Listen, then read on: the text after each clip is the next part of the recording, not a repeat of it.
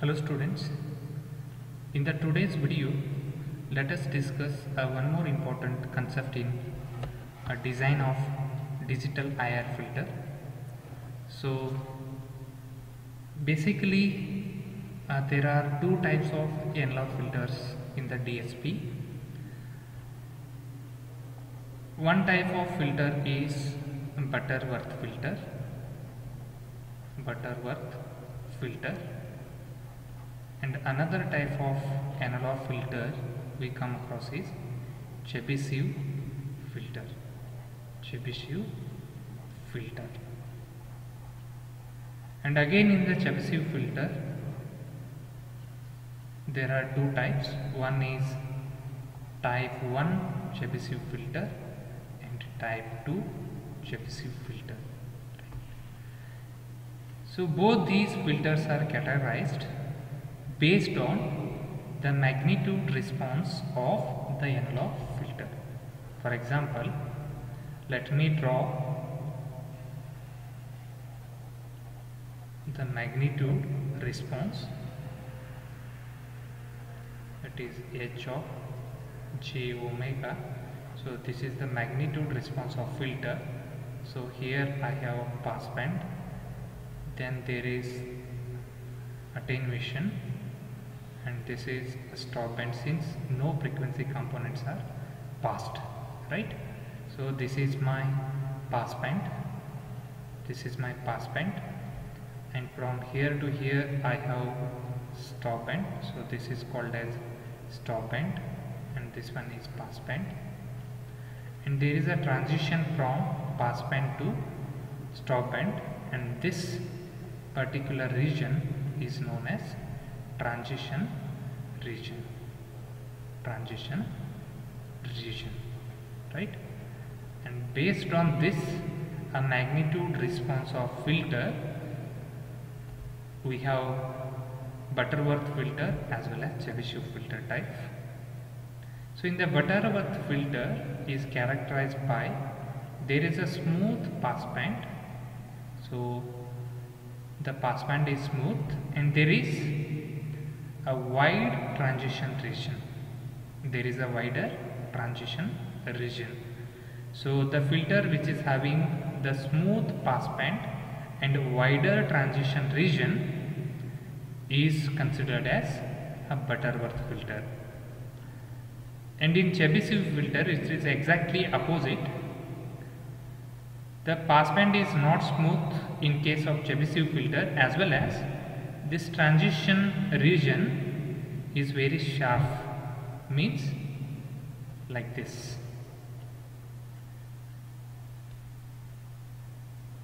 The transition region is very sharp right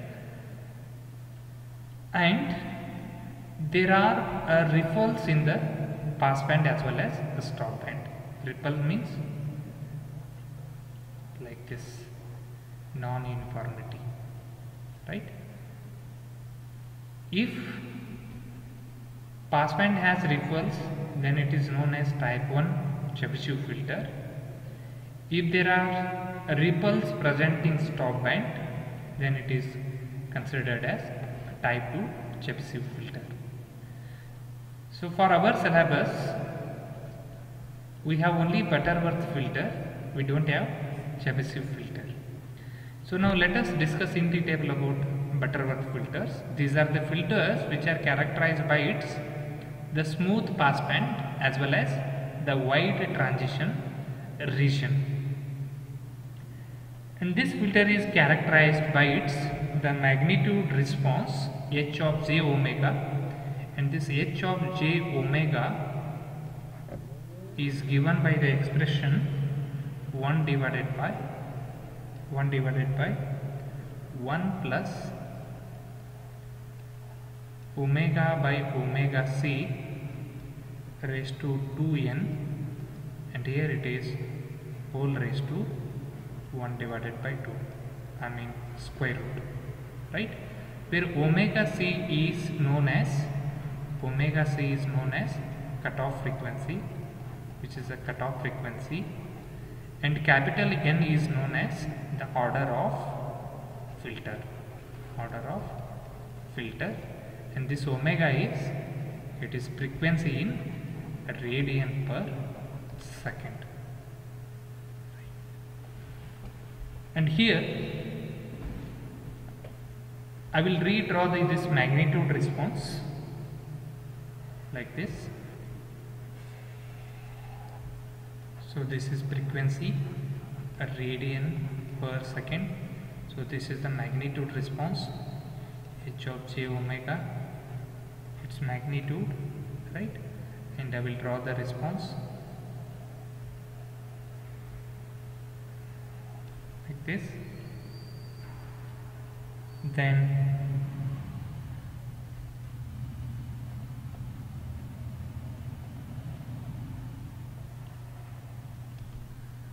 so this is n is equal to 1 right? So if I draw one more like this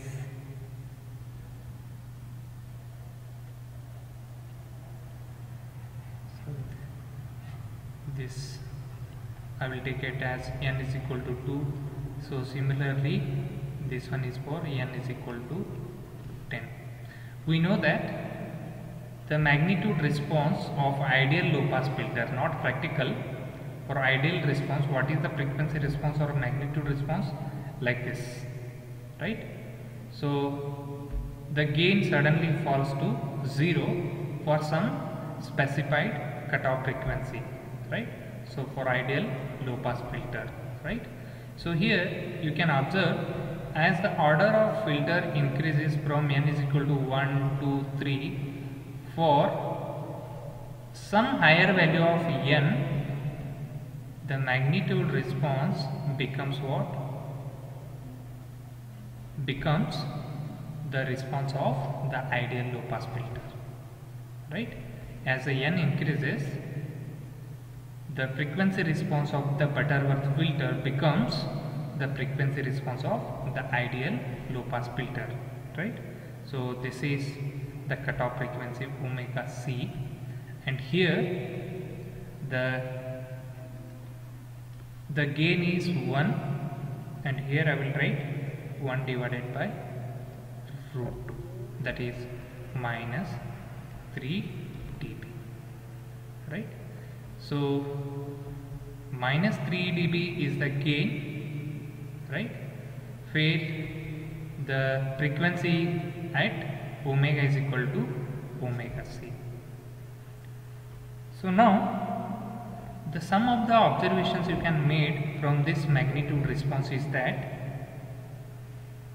h of h of j omega that is the magnitude response is always equal to 1 for 0 frequency. That is omega is equal to 0 for all n irrespective of the order of the filter n the h of j omega is always equal to 1 for omega is equal to 0 so that is the first observation. What is the second observation? H of j omega h of j omega right? So here it is constant till omega is equal to omega c and beyond this omega c as the frequency increases what is the magnitude or gain the magnitude is go off, goes on decreasing and it becomes 0 whenever whenever omega reaches infinity. That is the second observation. So here it becomes what? 0 and third observation is the h of j omega is equal to 1 divided by root 2 for frequency omega is equal to omega c. So whenever the frequency omega becomes equal to cutoff frequency omega c, the gain or magnitude falls to minus 3 dB. So here it is 0, 0 will fall to what? Minus 3 dB. That is third observation. And fourth observation is the h of j omega, the magnitude h of j omega is monotonically decreasing. It is monotonically, monotonically decreasing as the frequency increases as this frequency increases so these are some observation are made from this magnitude response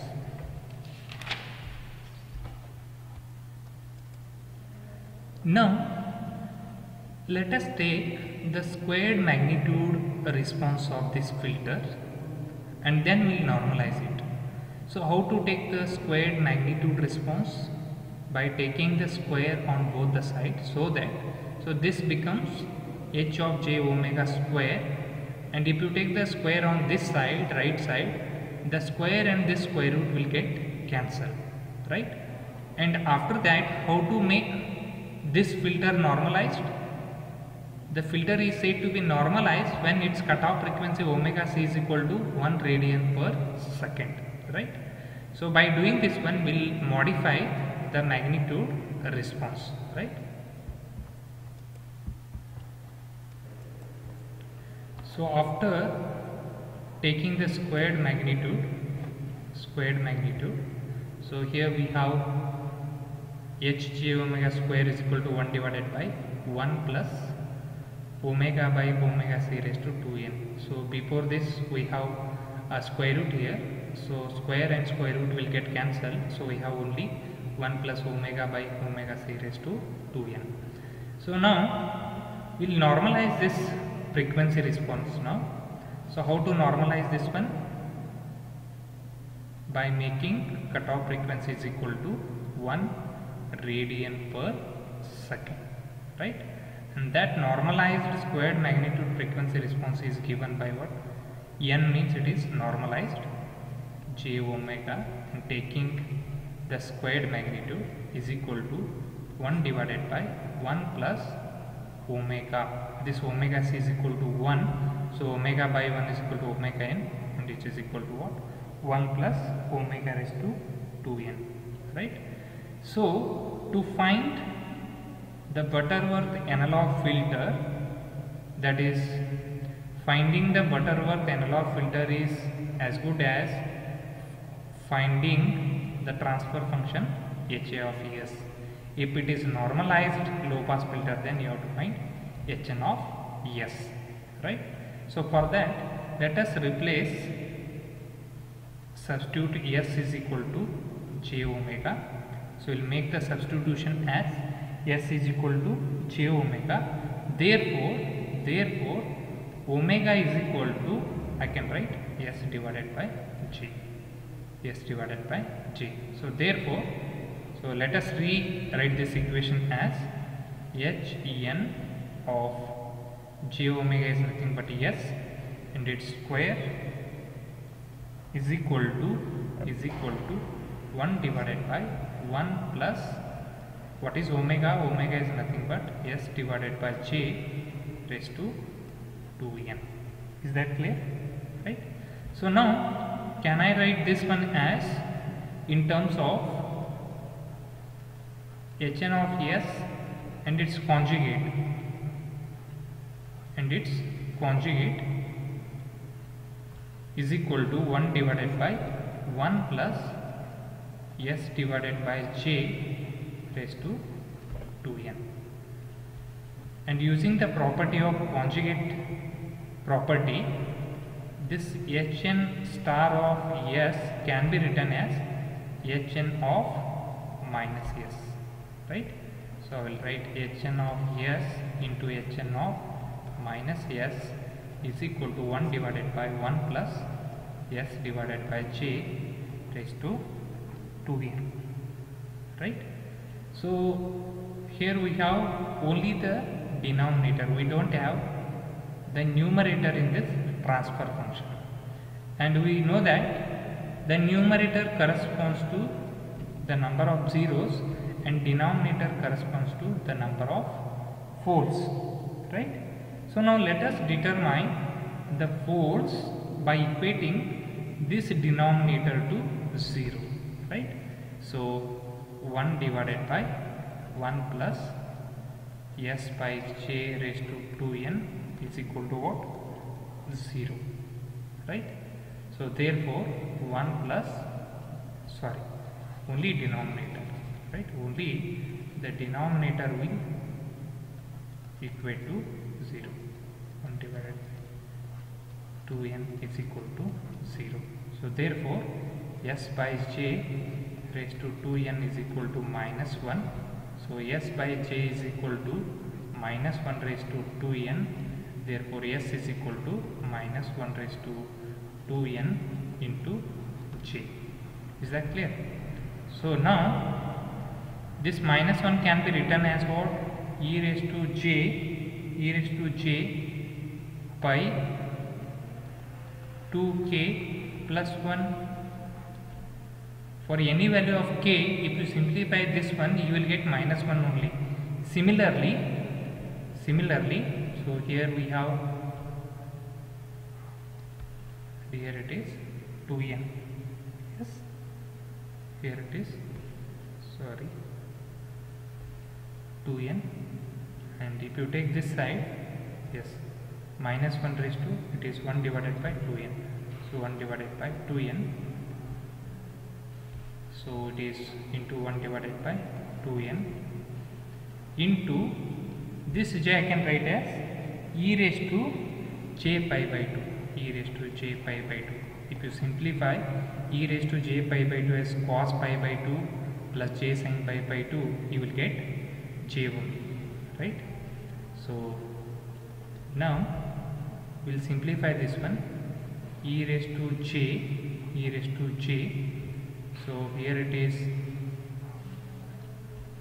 This phi we'll write like this uh, 2 pi k divided by 2n plus pi divided by 2n plus pi divided by 2 and this 2 and this 2 will get cancelled which is equal to e raised to j pi k divided by n plus plus pi divided by 2n plus pi divided by 2 that is equal to what? Yes right? Since we have k here I can write k. So you will get k number of poles in the denominator right? So if you see this one this can be written as in the polar form. How? So here what is the magnitude? The magnitude is nothing but 1 right? So nothing but r angle theta right? So how many uh, phase angles you will get? Theta k angles you will get. Therefore sk is equal to sk is equal to 1 angle theta k because the magnitude the radius is 1 unit radius. Where theta k is what? Theta k is equal to pi k divided by n plus pi divided by 2n plus pi by 2 where n is n is the order of the filter order of the filter. And k varies from 0 1 2 up to 2n minus 1 this is very important. If the order of the filter is 2 then k varies from k varies from 0 1 2 how much? 3 so 2 into 2 4 4 minus 1 is 3 right? So here this sk is the poles which is defined in terms of phase angles and phase angle is given by pi k by n plus pi by 2n plus pi by 2 where n is the order of the filter. It could be 1 2 3 so on. And k varies from 0 to 2n minus 1 then we'll find the normalized transfer function hn of s 1 divided by s minus sk the summation of s minus sk terms considering only the left half plane. That is the poles which lies only within left half plane of the unit circle. And this is considered as the Butterworth polynomial normalized Butterworth polynomial. And if you take 1 over the Butterworth normalized polynomial you will get the